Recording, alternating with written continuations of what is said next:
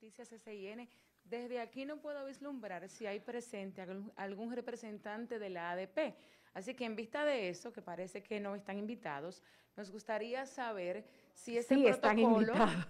Bueno, no sabemos si están aquí, por eso lo acabo de decir. Si este protocolo, exacto, recibió el visto bueno del gremio de los maestros que de forma reiterativa, principalmente en los últimos días, han condicionado el retorno a las clases de manera presencial a ciertas observaciones, incluida que se termine el proceso de vacunación completo de los maestros. Si hay un representante del gremio, puede responder el mismo representante y si no, en ese caso, alguna autoridad.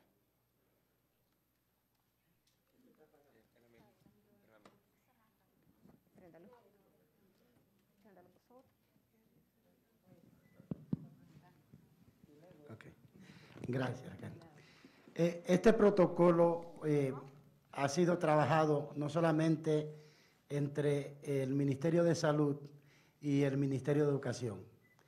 También hemos ido consultando permanentemente sobre él, incluyendo una reunión que sostuvimos anoche con el Comité Ejecutivo Nacional de la ADP, donde ellos eh, dieron su, su opinión positiva sobre el protocolo hicieron algunas, algunos planteamientos que también los hemos considerado y les hemos comunicado la mañana de hoy nuestro acuerdo con ellos, de manera que no debe haber diferencia con el tema del protocolo. Pero quiero decir que además del ADP, también el protocolo ha sido presentado, sus lineamientos generales, al Consejo Nacional de Educación, que es un organismo por representación, y también ha sido eh, conversado, tratado con la iniciativa por una educación de calidad que incluye a una gran cantidad de organizaciones de la sociedad civil vinculadas a la educación.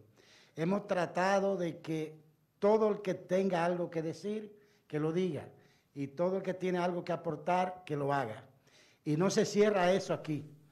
Como ha comunicado la viceministra Ligia Pérez, este documento será colocado en la página del Ministerio de Educación y cualquier institución o persona que desee hacer una recomendación, nosotros la recibimos con mucho gusto, la evaluamos y aquellas que entendamos pertinentes van a ser incorporadas. Insistimos en lo que dice la vicepresidenta. Este es un proceso abierto y dinámico. Por ejemplo, sobre la pregunta anterior del Distrito Nacional, hoy estamos a 5 de marzo. El inicio es el 6 de abril de aquí al 6 de abril podría haber cambio. Puede haber un municipio que hoy esté en condiciones de entrar y para el 6 de abril variar. O puede haber una variación, por ejemplo, importante en áreas del Distrito Nacional y de la gran capital, sobre todo por el hecho de que me parece que es donde más se ha avanzado en el proceso de vacunación.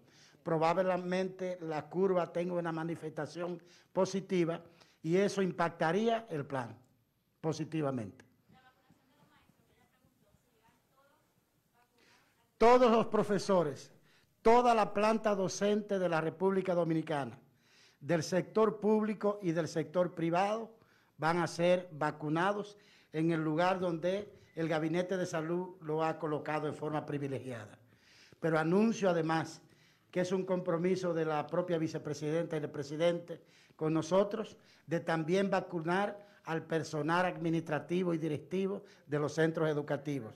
Y quiero informar además que una vez definido en el mapa los municipios que corresponden, vamos a hacer una priorización de modo que podamos eh, comenzar por ahí, por esos municipios, para procurar que la vacunación vaya delante de la apertura.